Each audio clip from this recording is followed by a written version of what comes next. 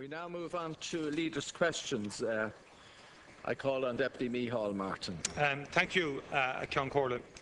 Taoiseach, letters from the Chief Executive Officers of four of the largest hospitals in the state to the Director General of the HSE and revealed by last evening's primetime programme illustrate uh, how untenable the current government's strategy and budgetary strategy in particular is for the health services.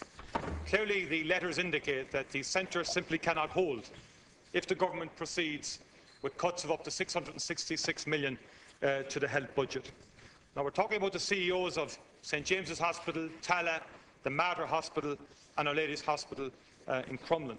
Uh, and basically they are saying, Taoiseach, in a nutshell, that the quality of services and patient safety is being compromised right now and will be irreparably compromised um, if these cuts go ahead. Taoiseach, it's about access to services and it's about patient safety.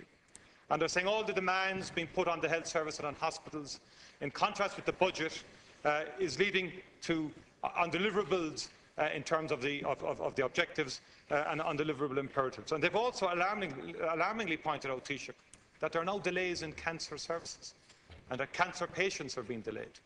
Uh, in essence, what the progress has been achieved over the last decade in cancer care is being dismantled as we speak. And this has been added to by consultant Owen Smith this morning, who's confirmed in Morning Ireland that children and teenagers are having treatments delayed and that given in many instances the type of cancers that they have as young children, uh, timely interventions is critical. Uh, and they're not getting those timely treatments. And he made it clear that survival and outcomes are being adversely affected um, as a result. Uh, and Taoiseach, the CEOs are saying in essence that the implementation of your budget proposals will lead to, quote, a serious dysfunctional and damaging outcome. Uh, and, you know, it's, I want to put it to you, Taoiseach, and we asked you before here for months, we raised the whole issue of discretionary medical cards. And you put your head in the sand, and we had denial after denial, week after week. Do you accept, Taoiseach, that services in our acute hospitals and patient safety is now being compromised um, as a result of budgetary um, policy, and that provision of cancer care is being dismantled? And are you determined to proceed with the scale of the budget cuts in health that you've announced? Thank you. Well, the budget this year in health is um, 13.263 billion. There's a capital fund of 357 million in capital, and the total uh, savings, as you know, are uh, identified are over 600 million for this year. There is no doubt, everybody understands this, that this is a very challenging year for the health service. Um, Minister O'Reilly is operating with a budget of 3 billion less than 2008 with 10,000 fewer staff. And he's changing the structure of the way health services are delivered in the country in terms of the cost of providing those services, but not the services themselves. I reject your assertion that um, that patient safety is not a priority of the government. It is the absolute priority of the government and the minister. Uh, I note the letter that has come in from the four chief executives. I understand this was delivered yesterday. Um, clearly, the, um, the obligation and the legal responsibility following the budget being delivered, Deputy Martin, as you're well aware, is for the Health Service Executive to prepare his service plan based on those budgetary figures. Because of, the, uh, because of all of the challenges that are here, the Minister has given uh, extra time uh, to the Health Service Executive to prepare that service plan. Uh, the presentation date to the Minister is the 15th of November. I note at the end of the, um, the letter from the uh, four Chief Executives um, we would urge that the implications of continuing in this vein be recognised and that constructive engagement with the hospitals in the budgetary formulation process be pursued. Um, and that's, uh, that's something that will happen, obviously, in the, uh, in the uh, preparation and the determination of the, uh, of the uh, service plan being prepared by the Health Service Executive.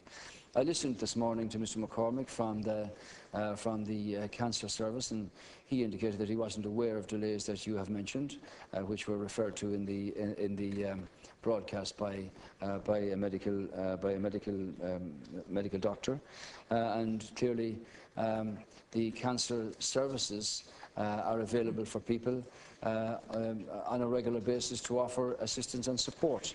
Now, as I said, uh, between January and August of this year, the number of patients waiting on trolleys was down by 30% compared to 2011. Consultants now see and discharge patients on a 24-7 basis. This saves the state hundreds of millions.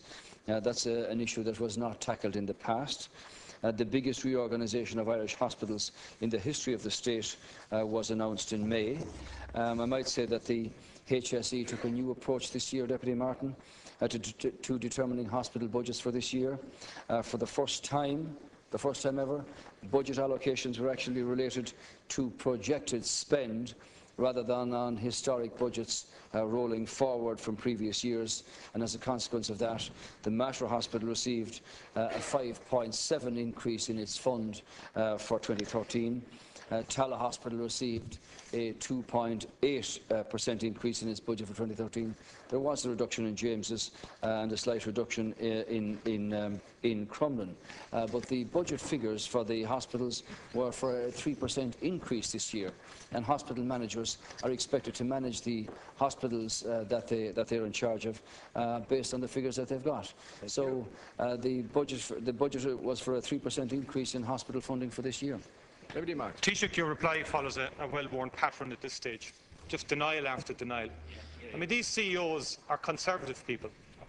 Uh, the, the, the, last, actually, type of people to come out with a letter like this to the HSE. Uh, and the letter is very carefully written, Taoiseach. But if you decode the letter, what they're saying is very clear. That they cannot take any further cuts to hospital budgets and that they cannot stand over patient safety in the current climate. They are saying, Taoiseach, when you decode this, that patient safety is at risk. Now, Dr. Owen Smith isn't any ordinary medical doctor, Taoiseach, and I wouldn't second guess him if I was you. He's been a principal leader and pioneer in the area of childhood cancers uh, and teenage cancers, and he knows what he is talking about. And he has said on the record that not, there are delays in treatment of young people and children. That is what he's saying. And he's saying outcomes are being compromised Question, right please. now, Taoiseach. So can we have less of the denial, Taoiseach? And what I'm saying to you, Taoiseach, if you proceed with the cuts that you intend to proceed with, and by the way, which no one can actually pinpoint at this stage, because the figures were handed by Minister Howlin to Minister Reilly, take them or leave them, 666 Thank million. you. HSE came back and said it'll be a billion before we're finished. Taoiseach, you're getting a lot of warnings. The system is saying to you, we can take no more. And we certainly cannot take cuts of this scale. Because if they go ahead, patient lives will be lost as a result. And you better get that into your head. Intervene and change tack and change policy and change your direction. Will you do that? Taoiseach, thank you. Uh, I called the Taoiseach, by the way, in case you didn't hear me. Thank you.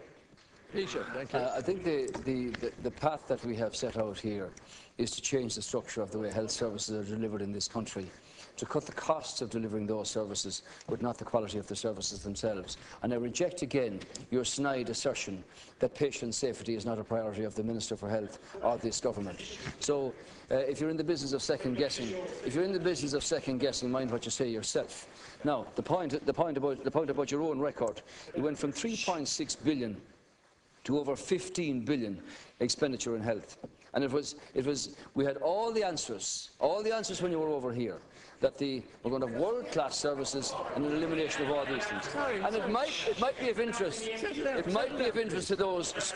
It might be of interest to those screeching behind you that you yourself spent 13.8 million on management consultancy. On management consultancy, and you had to be bailed out when you were Minister for Health to the extent of 664 million euro. The mess left behind by you has got to be changed here. I do not second guess the eminent consultant who spoke on the radio this morning. I was merely speaking about, about Mr McCormick, who delivers cancer support services to patients who need them. Thank you. And I point out to you again that the budget for this year for hospitals was a 3% increase. The, the Mater Hospital and Tallaght Hospital both received increases in rebalancing their budget. So it's not the same old story, Deputy Martin. It's a case here of putting the costs of services, but not the services themselves. And I, I reject your assertion